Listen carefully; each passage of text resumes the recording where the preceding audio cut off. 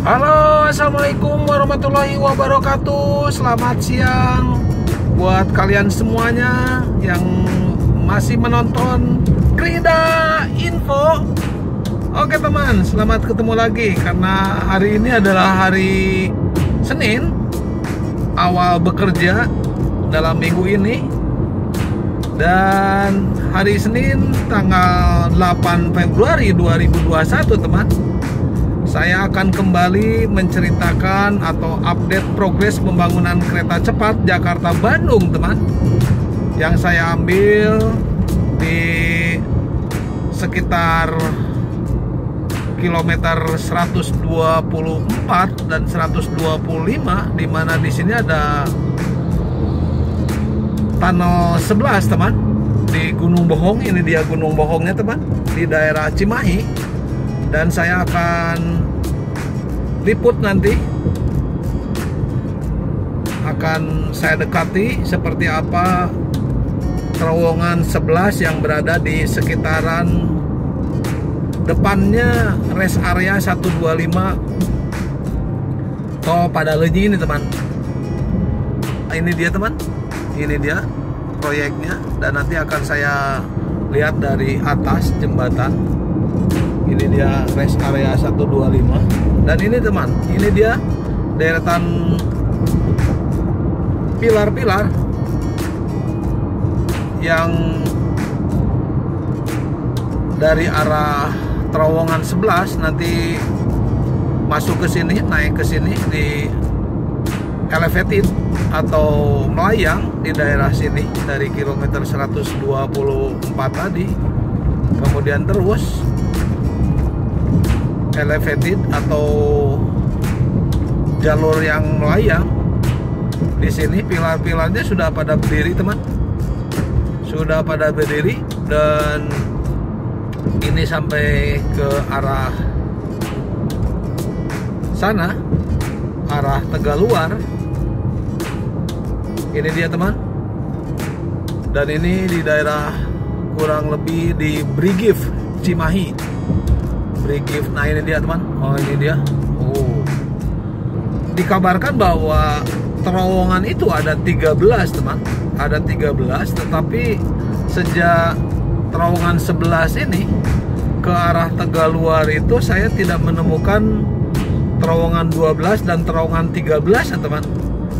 Saya sampai saat ini sudah sekian lama mencari di mana sih terowongan 12 dan 13 karena menurut data menurut informasi yang kami dapatkan bahwa terowongan itu ada 13 nanti saya akan lihatkan. Terowongan 11 teman dan ini saya keluar dulu keluar tol Pasteur nanti saya akan balik lagi untuk melihat dari rest area 125 tol Padalenyi itu teman. Oke teman jangan ke mana-mana tetap di Krida Info Check it out. Krita Info. Kepoin yuk. Oke teman, balik lagi dengan Krida Info dan saya akan meliput dari arah sebaliknya teman. Di mana saya sekarang dari arah tol Pasteur menuju ke arah barat. Nah, dan ini sudah nampak teman. Nah ini dia ini pilar-pilar yang akan menyeberangi interchange daripada Pasteur ini. Yang kemudian nanti ke arah ke Tegaluar stasiun Tegaluar ke arah timur. Oke teman saya perlu sampaikan juga bahwa dari jarak Jakarta Bandung kereta cepat ini sejauh 142,3 km dibagi 4 tipe teman ada dia teman yang nampak di depan kita ini adalah pilar-pilar. Nah ini masuknya tipe elevated teman. Tipe elevated artinya melayang di atas permukaan tanah. Ini termasuk elevated. Kemudian juga yang tiga yang lainnya adalah tipe tunnel atau terowongan underground jadi di bawah tanah berupa terowongan Kemudian yang berikutnya adalah tipe cutting, artinya kalau ada dataran tinggi seperti bukit misalnya itu dipotong dipangkas. Jadi nantinya ada di atas permukaan bukit itu gitu. Yang selanjutnya adalah tipe subgrade. Subgrade itu adalah yang landed di atas permukaan tanah, teman. Jadi ini dia salah satu tipe elevated yang nampak di depan kita ini. Tipe yang melayang artinya di atas pilar-pilar itu nanti akan dipasang box girder sebagai bantalan rel kereta cepat nanti. Nanti akan kita lihat juga mengenai yang tipe underground ya underground atau disebutnya tunnel atau terowongan. Nah kita akan lihat salah satu tipe yang berada di terowongan dan kita akan melihat terowongan 11 yang berada di sekitar ini pas di depan rest area. Makanya nanti saya akan masuk rest area ini kemudian nanti akan saya naik ke jembatan sana ya jembatan orang JPO jembatan penyeberangan orang. Nah ini dia teman.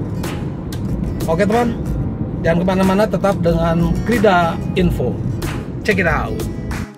Jangan lupa untuk like, share, komen, dan subscribe. Halo teman, balik lagi dan saya laporkan teman, saya berada di pinggir jalan tol teman di rest area 125 teman. Dan saya sudah nampak di sini terowongan sebelahnya teman namun ada sesuatu yang cukup heran karena ternyata di atas terowongan itu ada jalan, teman. Ada jalan.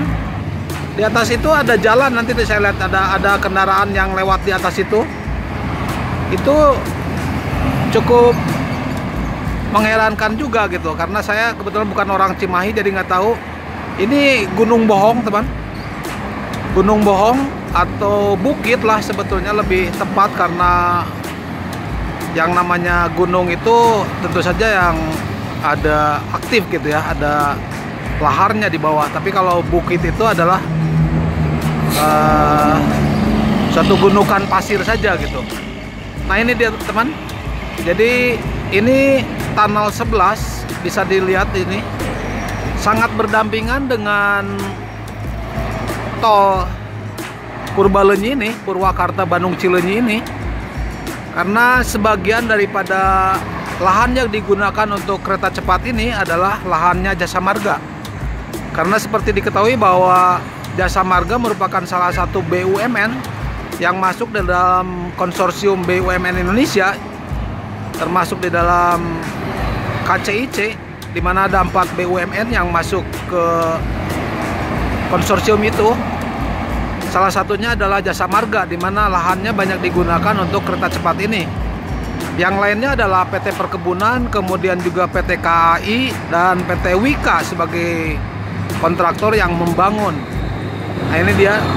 Jadi PT KCIC ini adalah sebagai pemilik saham di mana 60 persennya adalah milik Indonesia, BUMN Indonesia, sedangkan 40 persennya adalah yang dipunyai oleh pemilik modal dari China atau China Railway.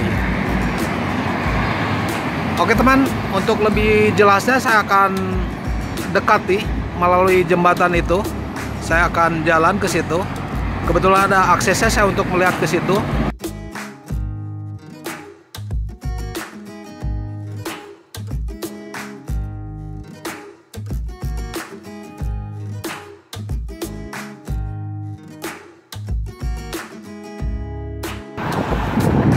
Teman saya perlihatkan.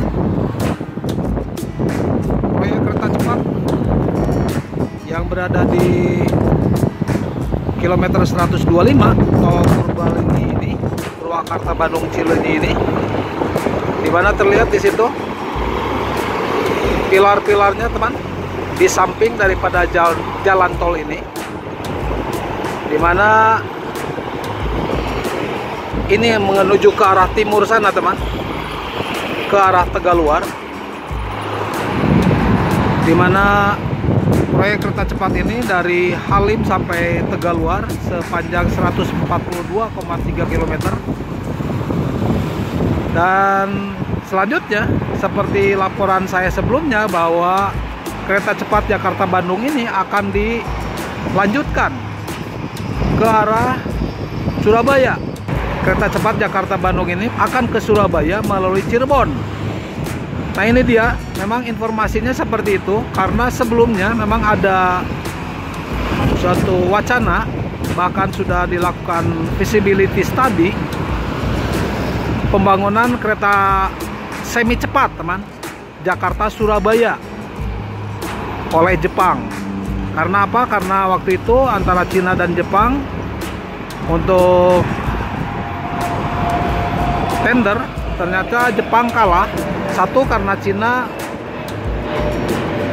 mau atau bersedia untuk alih teknologi ke Indonesia ke putra putri Indonesia insinyur Indonesia.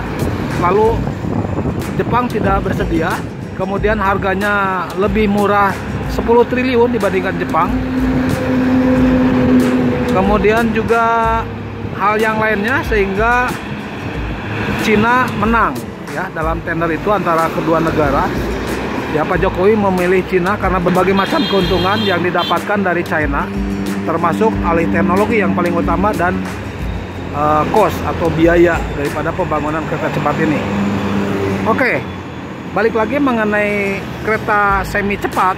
Rencana pembangunannya yang di, akan dilakukan oleh Jepang ternyata mungkin ada perubahan juga karena dinilai tidak efektif kemungkinan besar Jakarta Bandung ini dari Bandung ke Surabaya melalui Cirebon. Jadi kalau misalnya katakanlah Jakarta Surabaya ini diteruskan ke lewat selatan kemungkinan agak kurang efektif gitu terutama yang semi cepatnya.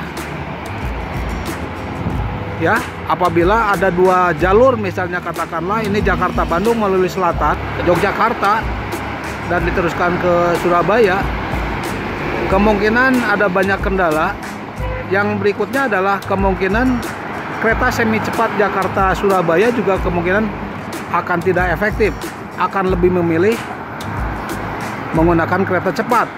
Karena diperkirakan kereta cepat yang akan dibangun ini kecepatannya 350 km per jam.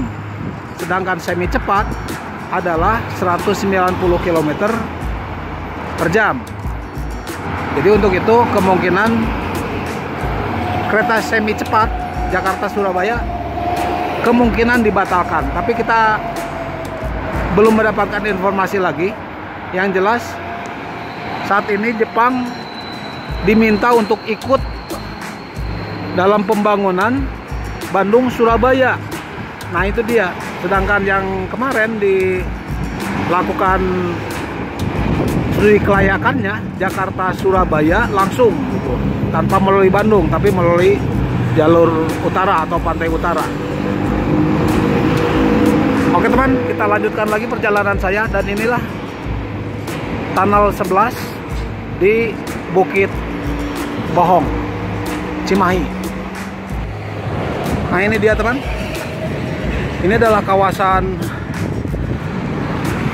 proyek nah ini dia ada salah satu pegawainya CREC ternyata teman. Dibangun oleh CREC CREC sendiri adalah kontraktor yang dari China. Walaupun lihat tuh karyawannya orang Indonesia teman. Seperti itu lihat. Karyawannya Indonesia walaupun ini CRC ini adalah perusahaan dari China jadi nah ini dia teman. Bisa dilihat di sini. Ini dia tunnel 11 lokasinya. Ini terowongannya. Terowongan 11 dan di atas itu ada kendaraan. Itu ada jalan teman. Ternyata ter jalan akses warga. Tapi saya nggak tahu ini di mana. Yang jelas ini yang di Pangkas itu yang masuk terowongan itu adalah Bukit Bohong namanya berada di Cimahi. Dan bisa dilihat teman bahwa kegiatan masih keluar hilir mudik kendaraan berat di sini. Ya, ternyata ini dibangun terowongannya oleh CREC. Crack ya dari China. Oke. Inilah salah satu daripada tipe jalur kereta cepat Jakarta Bandung di mana di antaranya adalah melalui jalur di bawah tanah underground yaitu yang kita kenal dengan terowongan atau tunnel. Jadi ini kelihatannya tuh yang baju merah itu itu kelihatannya orang China nya tapi sebagian besar sebetulnya udah orang Indonesia teman tenaga kerja Indonesia. Jadi kalian nggak usah khawatir bahwa ini China semuanya walaupun CREC sendiri dari China tapi karyawannya atau tenaga kerjanya masih banyak dari Indonesia. Nah itu dia teman. Itu di atasnya ternyata ada jalan. Ya tentu saja akses untuk warga tapi saya nggak tahu dari mana ke mana karena saya bukan orang Cimahi dan bukan orang sini oke jadi balik lagi bahwa memang seperti terlihat di sini teman bahwa ini ada pilar-pilar sebelah situ. Jadi dari tunnel dari terowongan itu kemudian nanti ke tipe elevated atau ke tipe yang melayang. Yang melayang di atas permukaan tanah dengan dengan pilar-pilar itu teman. Oke jadi sebagian besar memang terutama dari Bandung sini teman di Bandung ini hampir semuanya hampir semuanya di Bandung ini lahannya yang digunakan itu adalah lahan jasa marga sehingga jasa marga masuk ke konsorsium daripada PT KCIC sebagai pemilik saham daripada kereta cepat Jakarta Bandung ini Oke teman, saya kira saya cukup untuk melaporkan update progres pembangunan kereta cepat Jakarta Bandung. Yang hari ini saya laporkan hari Senin tanggal 8 Februari 2021 teman. Mudah-mudahan informasinya bermanfaat. Saya pamit terima kasih. Wassalamualaikum warahmatullahi wabarakatuh. Salam dari Bandung teman Terima kasih sudah menonton.